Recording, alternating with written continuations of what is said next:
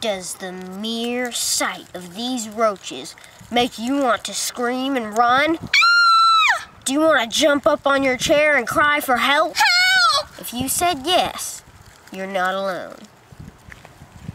But Courtney and I see these roaches a little differently. We're here to clear up some misconceptions about roaches. We'll help you learn the difference between pest roaches and the roaches that make great pets. Take a look at this chart and we'll explain. Pest roaches carry germs, while other roaches are clean. Pest roaches are invasive. They move in with you. Other roaches are non-invasive. They have to live in their own environment. Pest roaches are helpful. Oh wait, they're not helpful. Not helpful at all. Other roaches are helpful. What do we do when we see a dirty, invasive roach in the house? We smack them. We don't like killing critters, but since pest roaches carry germs, cause allergic reactions in some people, and don't help the environment, we don't mind killing them. Meet some of the roaches we keep at our house on purpose. We have Madagascar hissing roaches, peppered roaches, and giant cave roaches. The first species we're going to talk about is the Madagascar hissing roach. They're from Madagascar. See the island off the coast of Africa?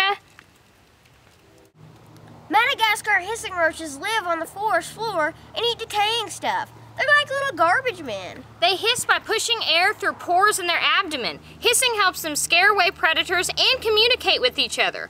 Roaches are thigmotrophic. That means they are most comfortable with pressure on three sides of their bodies. So they cram themselves in small spaces. They are insects, but they do not have wings. They have six legs, three body parts, and antennae, just like other insects. Peppered roaches and giant cave roaches are from Central and South America. They have many similarities.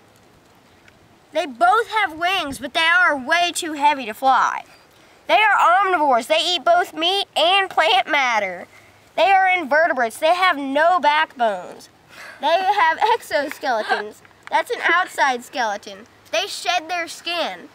When after they shed their skin, they're white because their exoskeleton has not hardened yet. Now I know all of you are going to want to buy roaches from us after seeing this video blog. So we're going to show you how to create a habitat where they will thrive.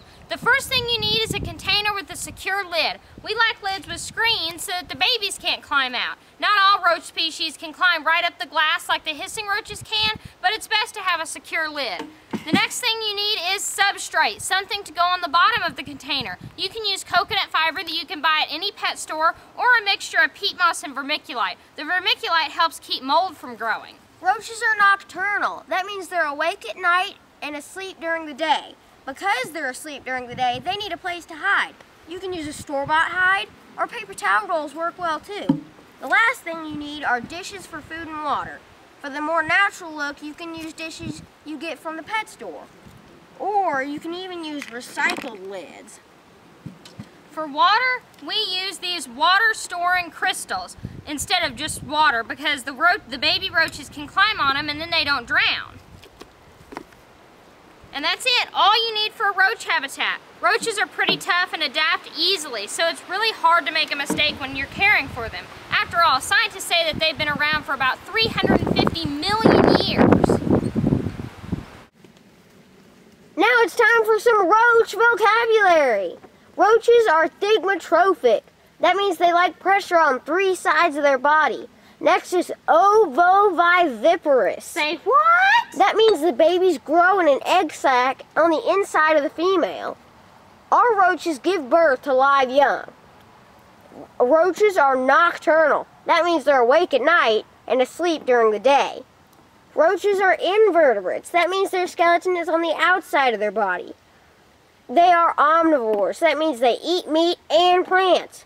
So our roaches are clean and make great pets. Got that? If you're interested in learning more about roaches and other critters, you can check out our website at www.notsocreepycritters.com. And like us on Facebook. Oh, and thanks, Connor. By the way, our grandmother's helping us hold up the board. Okay, cut. No roaches were harmed in the making of this film.